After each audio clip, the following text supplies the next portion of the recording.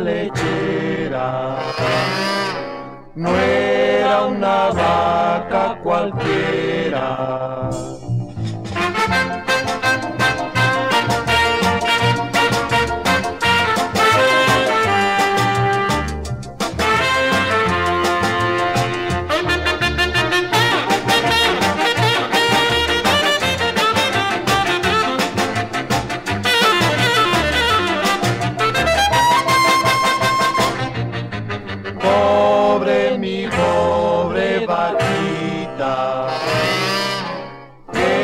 se murió de viejita.